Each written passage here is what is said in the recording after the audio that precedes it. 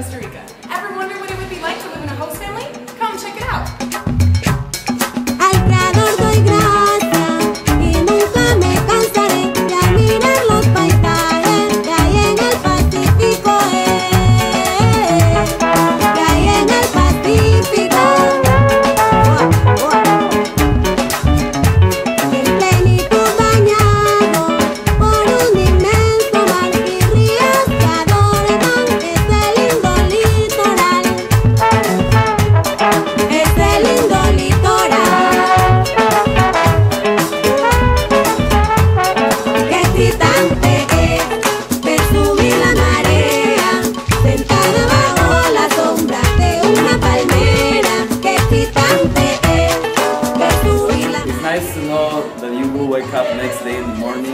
Morning and family is making this rico gallo pinto and also some rico tortillas too. Mm-hmm. Yeah.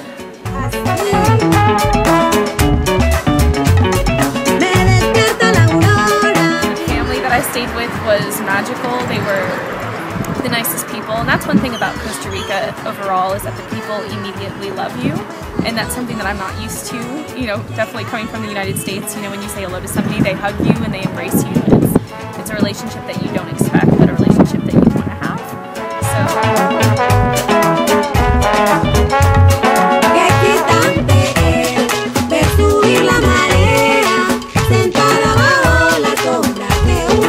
It's part of the experience, it's part of the culture. Like, uh, go and do the dishes with the husband, uh, maybe take the dog for a dog walk, or the pets, you know, things like that. It's just living abroad and, and study abroad or, or getting involved with volunteer experiences is something that you will never forget. when my Tica mom makes makes dessert because she makes the best dessert in the world.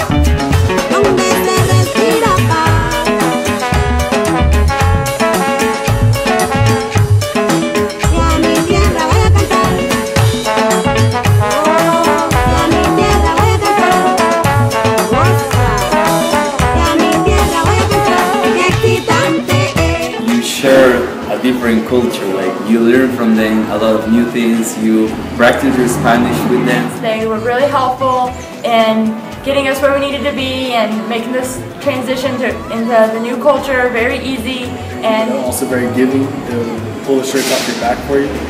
Uh,